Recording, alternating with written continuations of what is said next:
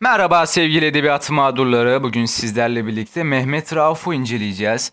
Hikayemize geçmeden önce bir uyarı söylemek istiyorum arkadaşlar. Bir not düşmek istiyorum. Bugün edebiyat öğrencisi olarak bir rekor denemesi yapacağız ve e, oldukça fazla bir sayıda Mehmet Rauf'un eserlerini işleyeceğiz. Neredeyse %90-95 oranında arkadaşlar. Lütfen videoya iyice odaklanın. Hemen hikayemize başlıyoruz arkadaşlar. Sol tarafta bir kızımız var. Bu kızımızın adı Eylül arkadaşlar. Bu kızımızın adı Eylül ve bu kız yani Eylül'ümüz psikolojisi bozuk bir kız. Bakın psikolojisi bozuk bir kız ee, ve Eylül de Mehmet Rauf'un ilk psikolojik romanı arkadaşlar. Evet psikolojisi bozuk bir e, kızdı Eylül'ümüz. E, Eylül psikolojisi bozuk olduğundan dolayı durduk yere sürekli ya uf diyor. Ya uf. Ya uf diyor. Bakın ya uftan aklımıza Mehmet Rauf gelecek. Bakın ya uf.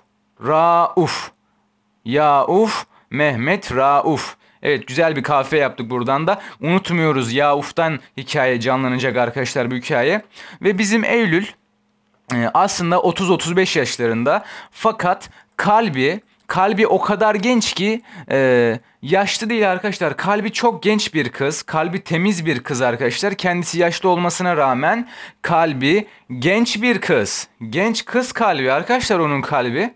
Evet ardından boynunda bir siyah kolye görüyoruz arkadaşlar. İnciler var galiba. Siyah inciler olan bir kolye var arkadaşlar. Boynunda siyah incili kolye var. Bizim kızımız Eylül'ümüz e, halasının evinde kalıyor arkadaşlar bakın sol tarafta halasının evinde kalıyor bizim psikolojisi bozuk olan Eylül.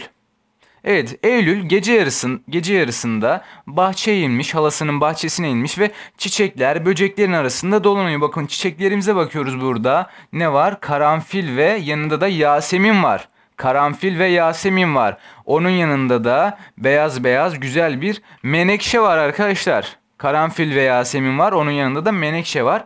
Ve bu bahçede halasının bahçesinde güzel güzel meyveler, sebzeler var. Bakın buradaki çalılıkta da mor mor olan meyve var.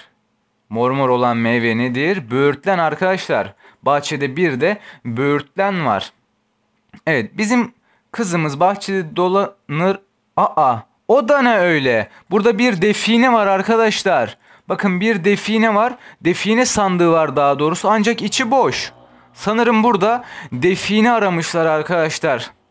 Define avcıları define aramış burada ve galiba da e, defineyi bulmuşlar. Bakın sandığından toplaya gitmişler. Sandığı bile taşımaya tenezzül etmemişler. Boş sandık işine yaramaz çünkü içindekiler daha değerli ve bu da ne? Definenin yanında herhalde bunu defineciler unutmuş burada altınları gördükten sonra bunu bırakmışlar ve kaçmışlar. Bu nedir? Bir tırmıktır veyahut da e, sivri bir alet arkadaşlar. Sivri bir alet ve gece yarısında bizim Eylül'ümüz onu göremediğinden dolayı ona basıyor ve ayağı yaralanıyor arkadaşlar Eylül.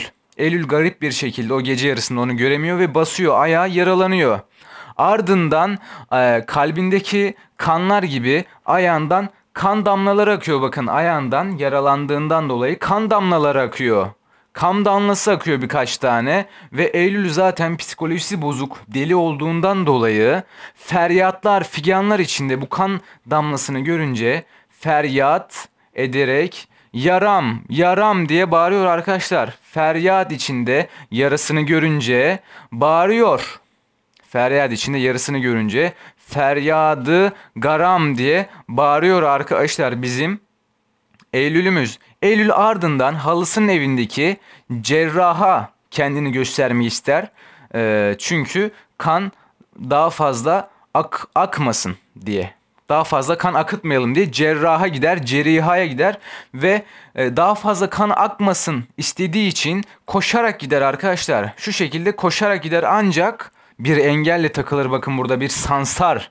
Sansar pusmuştu onu görünce Sansar onu kovalamaya başlar bizim Eylül'ü. Bakın Sansar kovalamaya başlar ve de pençeleriyle onu yakalamaya çalışır. Pençeleriyle onu yakalamaya çalışır ve tam da o anda yağmur başlamıştır. Yağmur başlamıştır ancak Allah'ın hikmetidir ki bizim Eylül'ümüzü sanırım korumak istiyor ve yağmuru doluya çeviriyor. Yağmurdan doluya dönüyor bir anda ve de Sansar'dan o şekilde kurtuluyor bizim Eylül'ümüz.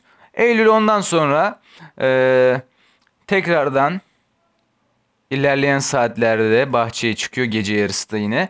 Bahçede arkadaşlar deliler gibi dönüyor. Deliler gibi dönüyor. Pervaneler pervane gibi dönüyor arkadaşlar deliler gibi. Ne demiştik? Pervaneler gibi dönüyor arkadaşlar bizim Eylül. Peki neden bizim Eylül'ümüzün psikolojisi bozuk? Çünkü o çok eskiden bir aşk mağduru arkadaşlar. Aşk mağduru evet yanlış duymadınız aşk mağduru o eski bir aşk kadını arkadaşlar. Bizim Eylül eski bir aşk kadını bu yüzden dolayı psikolojisi bozulmuş ve aşikane bir aşk kadını arkadaşlar. Aşikane bir aşk kadını bahçeye çıkmış aşikane bir aşk kadını olduğundan dolayı her şeye karşı sevgi duyuyor arkadaşlar. Bakın 3 tane kelebek var. O kelebeklerle bile konuşuyor arkadaşlar. Kelebeklere diyor ki Kelebekler, kelebekler, garip kelebekler, üç tane kelebek diyor. Sizin ömrünüz ne kadar da kısa. Sizin hayatınız ne kadar da kısa. Sizin hayatınızı yazsak bir roman olmaz diyor. Anca anca hikaye olur diyor sizin hayatınızdan. Anca olsa olsa hikaye olur diyor. Üç hikaye olur diyor sizin hayatınızdan. Ve e, bunlara karşı, kelebeklere karşı sevgi beslerken aklına ha, ha, aynı zamanda gece yarısı ya aklına eski aşk geceleri geliyor arkadaşlar. Bizim Eylül'ümüzün aklına eski aşk geceleri geliyor ve diyor ki kadın isterse her şeyi yapabilir diyor bakın. Kadın isterse her şeyi yapabilir ama diyor ki benim son bir emelim var. O da eski aşkıma geri dönebilmek diyor bakın. Eski aşkıma geri dönebilmek diyor.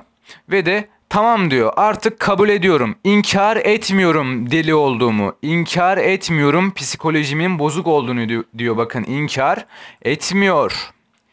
İnkar etmiyor bizim Eylül'ümüz. Ve inkar etmedikten sonra bizim hikayemiz de burada son buluyor. Nasıl son buluyor? Bir aşkın tarihi. Bir aşkın tarihi de işte böyle biter inkar etmediğinden dolayı. Evet arkadaşlar bugün 25 eser öğrendik. Biraz zorlayıcı olabilir. Hemen bir de provasını yapalım değil, değil mi arkadaşlar? Bir tekrardan şöyle ufaktan hızlıca tekrarlayalım. Kızımızın adı Eylül'dü ve Eylül'ün psikolojisi bozuktu. Ya uf ya uf diye bağırıyordu arkadaşlar. Ee, yaşlı olmasına rağmen kızımızın kalbi gençti, genç kız kalbiydi. Boynunda siyah incili e, kolye vardı siyah inciler ve halasının evinde kalıyordu arkadaşlar. Daha sonrasında bahçeye çıkıyordu. Bahçede çiçekler vardı. Karanfil ve yaseminler vardı. Menekşeler vardı efendime söyleyeyim böğürtlenler vardı ve bahçede aa diye şaşırmıştık. Define görmüştük arkadaşlar. Definenin avcıları burada tırmığını unutmuştu ve e, bizim Eylül'ümüz ayağıyla basmıştı ve ayağında yaralar çıkmıştı. Yara olmuştu aya ve ayağından kan damlaları akmıştı. Kan damlası akmıştı ve bunu görünce zaten deli olduğundan dolayı feryat figanlar halinde yaram diye bağırıyordu. Feryadı garam şeklinde bağırıyordu arkadaşlar. Ardından cerraha gidecekti e, halasının evindeki Cerraha giderken yağmur başladı ve pusuda kalan e, Sansar onu kovalıyordu arkadaşlar. Sansar pençesiyle yakalamaya çalışıyordu ve Allah'ın hikmetiyle yağmurdan e, doluya dönüşüyordu. Bizim kızımız ardından tekrar bahçeye çıkıyordu ve pervaneler gibi dönüyordu. Pervaneler gibi dönüyordu. Niye delirmişti diye soruyorduk psikolojisi bozulduğunu. Aşık bir kadındı. Aşk kadınıydı. Aşikane bir kadındı. Kelebeklerle muhabbet ediyordu. Üç hikaye. 3 hikaye. Ardından eski aşk geceleri aklına geliyordu. Ve diyordu ki kadın isterse her şeyi yapabilir. Son emelim var. O da e, bir aşk aşka kavuşmak ve de artık inkar etmiyordu deli olduğunu, intizar ve de hikayemiz burada bitiyordu. Bir aşkın tarihi olarak bitiyordu arkadaşlar. 25 eser inceledik. Eğer e, aklınızda kalmadıysa lütfen tekrardan e, bu videoyu izleyebilirsiniz. Eğer beğendiyseniz, hoşunuza gittiyse lütfen videoya beğeni atmayı unutmayın ve daha fazla videodan haberdar olmak istiyorsanız YouTube'dan bize abone olabilirsiniz. Hoşça kalın, dostça kalın, iyi çalışmalar.